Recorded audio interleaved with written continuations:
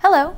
So, Mount Juliet HOSA is working with local teens to help promote Her Drive here in the Nashville area. Her Drive is a national organization collecting donations for women in need, such as menstrual products, uh, general hygiene items, new or lightly used bras, and vanity items.